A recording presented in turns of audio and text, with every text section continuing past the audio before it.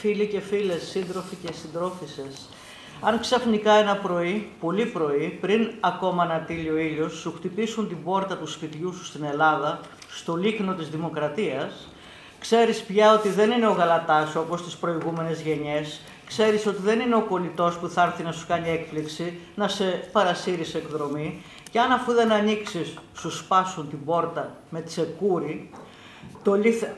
τότε να ξέρεις πως ο φασισμός και η κρατική βία ξύπνησαν ολοκληρωτικά από το λίθαργό τους και όρμησαν κατά πάνω σου.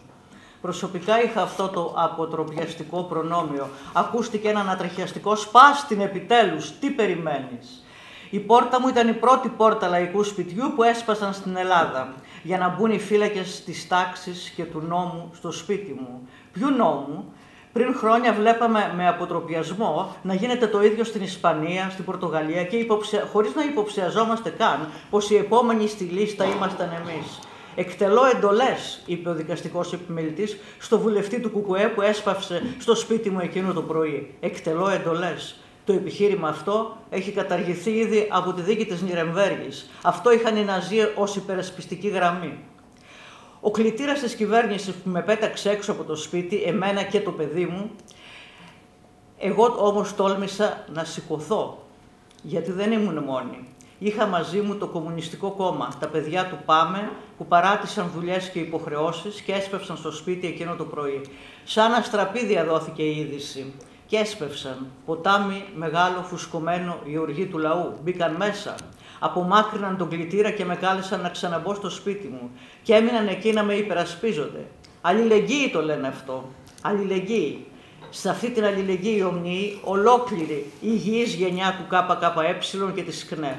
Και ναι, πάνω σε αυτά τα κομμάτια της σπασμένης πόρτας πάτησαν διάφοροι εκπρόσωποι άλλων κομμάτων για να έλθουν εκ των υστέρων κατόπιν εορτής για συμπαράσταση. Χωρίς λύπη, χωρίς εδώ. Και βγήκαν στα τηλεοπτικά κανάλια ακόμα και επίορκοι υπουργοί και λακέδες κυβέρνησης να με κατηγορήσουν, να μου βρουν ψεγάδια να πούν πως παρανόμησα για να δικαιολογήσουν το σπάσιμο της πόρτας. Εμένα που με έμαθαν οι γονείς μου να σέβομαι τους νόμους, το σύνταγμα, τους θεσμούς. Το ίδιο βράδυ μια μεγαλειώδης συγκέντρωση και πορεία 5.000 ατόμων ξεκίνησε από το σπίτι μου και περιδιάβηκε στους δρόμους του ζωγράφου για να γίνει γνωστό παντού πως ο λαός σώζει το λαό. Δεν ήταν η πρώτη φορά που οι νόμοι δεν διασφάλιζαν τη δικαιοσύνη, αλλά ήταν η πρώτη φορά που τόσο ξαδιάντροπα το έκαναν. Η πρώτη φορά γιατί μετά ακολούθησαν κι άλλες. Μα εγώ δεν ήμουν μόνη πια, ήμουν όρθια μαζί με τα παιδιά του Πάμε και τόλμησα να φωνάξω, να καταγγείλω. Και τότε είδα το ομό πρόσωπο της κρατικής βίας για άλλη μια φορά να στέκεται συμπαραστάτης στον άρπαγα του σπιτιού μου. Τέσσερις μηνύσεις σε μένα και άλλες τέσσερις στο παιδί μου εκκρεμούν στα δικαστήρια. Ένα πρωί σκοτάδι ακόμα μαύρος όπως η ψυχή τους, τα ματ, οι όπιε, περικύκλωσαν το τετράγωνο που βρισκόταν στο σπίτι μου, έριξαν χημικά στους δρόμους, την ώρα που μικρά παιδιά θα πήγαιναν σε λίγο στο σχολείο που βρισκόταν κοντά. Ο ολόκληρος διοικητής της Γαδά διήφθηνε την όλη επιχείρηση. Πάνω από 30 κουκουλοφόροι πήγαν στο σπίτι μου, την, την πόρτα του οποίου είχε ανοίξει τεχνιέντος πλέον, ένας κλειδαράς τους, το λαιλάτισαν, έκλεψαν, μόλυναν. Αλήθεια αυτό, έτσι. Κατέστρεψαν με την ανοχή ε, του, αν όχι με την παρότρινση του άρπαγα, και εμένα και το παιδί μου και μας οδήγησαν σιδηροδέσμιους στην ασφάλεια. Μας πήραν αποτυπώματα, μας πήγαν στο μεταγωγόν και μας βγάλαν φωτογραφία προφίλ αμφάς παρέα με δυο βιαστές και ένα μαχαιροβάλτη πριν μας βάλουν χειροπέδες στα δικαστήρια της Ευελπίδων. Και όλα αυτά για να συλλάβουν δύο άοπλους πολίτες. Όμως δεν ήμουν μόνοι. Και αυτό το ήξεραν, και αυτό φοβόντουσαν. Και αυτό ήρθαν νύχτα, νύχτα πριν ξημερώσει. Τι φοβόντουσαν, την οργή του λαού. Το ΚΚΕ στάθηκε δίπλα μου τις κρίσιμες αυτές ώρες και στο αστυνομικό τμήμα και στα δικαστήρια και ακόμα που τώρα ταλανίζομαι ανέστια. Μόνον ο λαός σώζει το λαό, κανείς άλλος. Τα παιδιά του Πάμε και της ΚΝΕ στάθηκαν απέναντι στα μάτια και την ομή κρατική βία. Οι γυναίκες της Όγε ζωγράφου άπλωσαν ένα προστατευτικό δίχτυ πάνω σε μένα και το παιδί μου, αφού έτσι όπως μας έσεραν δεν προλάβαμε να πάρουμε από το σπίτι μας ούτε καν τα ρούχα μας, ούτε καν τα φάρμακά μας. Το σπίτι σφραγίστηκε και εμείς μείναμε κυριολεκτικά στο δρόμο. Όμως η αλληλεγγύη του κόμματος αποδείχτηκε εδώ περίτρανα. Το ΚΚΕ δεν επέτρεψε να με διαλύσει η βαρβαρότητα. Κράτησε ψηλά τη ζωή και την αξιοπρέπειά μου. Ναι, στάθηκα όρθια μπροστά στη σπασμένη πόρτα του σπιτιού. Δεν έσυψε το κεφάλι. Το Κομμουνιστικό Κόμμα, επαναλαμβάνω, το έκανε αυτό. Και αυτό το πλήρωσα με ανελαίητο κυνηγητό. Δεν αρκεί να σου πάρουν απλά το σπίτι. Θέλουν να σε τσακίσουν, να σε ποδοπατήσουν, να μην τολμήσεις να ξανασηκώσεις κεφάλι για να μάθουν οι άλλοι, όλοι οι υπόλοιποι, να μην τολμήσουν να αντιδράσουν. Οι νόμοι του ΣΥΡΙΖΑ και της Νέας Δημοκρατίας που αφήνουν απροστάτευτο το βιός μας, στα κοράκια εφαρμόζονται απρόσκοπτα. Είναι εδώ το ιδιώνυμο αδίκημα που δεν θα μας αφήσει να υπερασπιστούμε το αυτονόητο, το δικαίωμά μας να έχουμε ένα σπίτι που ψήφισε η κυβέρνηση του ΣΥΡΙΖΑ. Ό,τι πέρναγε χαρτί μπροστά από τον Τζίπρα τα υπέγραφε.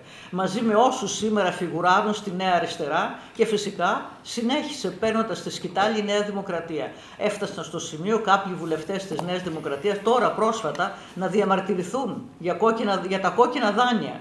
Ένας διαγράφει μάλιστα υπό την πίεση των ψηφοφόρων που δεν αντέχουν και αυτοί πια την τόσο υποβαθμισμένη διαβίωσή τους. Αναρωτιέμαι σε ποια ευνομούμενη πολιτεία, σε ποια δυτική δημοκρατία που διαπνέεται από τον ευρωπαϊκό διαφωτισμό επιτρέπεται να φωλιάσει τόσο φασισμό στην κοινωνία της. Ρητό, το ερώτημα, ωστόσο υφίσταται. Όμως η αλήθεια είναι εδώ, μπροστά μας. Υπάρχουν άραγε σήμερα ευνομούμενες χώρες στην Ευρώπη, όταν μπροστά στο κύμα διαμαρτυρίας των λαών διαπιστώνουμε άμεση καταστολή και δραστικό περιορισμό των λαϊκών ελευθεριών και διαδηλώσεων και των απεργιών. Η δουλειά μου τα προηγούμενα χρόνια μου επέτρεψε να ταξιδέψω πολύ στην Ευρώπη και να διαπιστώσω με τα ίδια μου τα μάτια αυτό που πολλά από τα ίδια τα στοιχεία αποδεικνύουν, ότι από το βορρά μέχρι το νότο της Ευρωπαϊκής Ένωσης διπλασιάστηκαν οι λαϊκές οικογένειες που έχασαν τα σπίτια τους από το 2010 ως το 20, πάνω από 20 εκατομμύρια άνθρωποι αντιμετώπισαν σοβαρή στέρηση στέγης, όπως είπε και ο, ο, ο κύριος Βουλευτής, οι τιμές των οποίων αυξήθηκαν κατά 47% μεταξύ του 2010 και του 2022. Είτε νεοφιλελεύθερες είτε σοσιαλδημοκρατικές κυβερνήσεις στα κράτη-μέλη της Ευρωπαϊκής Ένωσης χτυπάνε ανελαίητα τα δικαιώματά μας. Βγάζουν τα σπίτια στο σφυρί. Το σχέδιο της Ευρωπαϊκής Ένωσης είναι κοινό παντού. Η κατοικία η μικροϊδιοκτησία αλλάζει χέρια, περνάει στα χέρια των λίγων, των τραπεζιτών, των funds. Πλουτίζουν μεγάλες κατασκευαστικές εταιρείες και όμιλοι. Περνάει στα χέρια των ολιγαρχών και των πιστών υπηρετών τους. Αργά αλλά σταθερά η κοινωνία αποσαρθρώμεται και παραλύει. Το θέμα είναι εμείς τι κάνουμε. Το ίδιο συμβαίνει στη δική μας χώρα. Οι πολιτικές που είχαν οδηγήσει το μέσο Έλληνα σε εξαθλίωση, που δεν του φτάνει ο μισθός πια ούτε για το μήνα, τώρα τον απειλούν και με τον τρόμο της έξωσης. Είναι απίστευτο πόσοι πληστηριασμοί γίνονται κάθε μήνα στην Ελλάδα. 500 με 600, ίσως και παραπάνω. Σήμερα ο λαός μας είναι απομονωμένος από το δικαίωμά του να ζήσει με αξιοπρεπές εισόδημα, μια στέγη, μισθό, σταθερή δουλειά, δικαιώματα στη μόρφωση, την υγεία, τον πολιτισμό, αλλά και το δικαίωμά του να ζει ειρηνικά και με ασφάλεια στον τόπο του. Το Κομμουνιστικό Κόμμα Ελλάδος έχει και πρέπει να έχει δυναμική θέση στην Ευρωπαϊκή Ένωση. Και έχει. Και επειδή δεν έχει δεσμεύσεις και συμφέροντα, επειδή δεν φοβάται να λέει την αλήθεια, οφείλει να δίνει το αγωνιστικό παρόν κυρίως απέναντι στην Ευρώπη των μονοπωλίων. Το χρειάζεται η Ευρώπη αυτό και οι χώρες μας, αν θέλουν να ξαναβρούν κάτι, συγγνώμη, από τη χαμένη αξιοπρέπειά τους. Αν θέλουμε να ξαναζωντανέψει το πνεύμα του διαφωτισμού, όχι του Μάστριχ, που ξεκίνησε από εκεί, γιατί οι λαοί της Ευρώπης διανύουν στον αιώνα μας την πιο βαθιά νύχτα, όμως δεν έχουν πει ακόμα την τελευταία λέξη. Το ρεύμα αμφισβήτησης αυτής της κυρίαρχης πολιτικής τίνει να γίνει πιο ισχυρό, ιδιαίτερα εδώ, κάτω, στο νότο.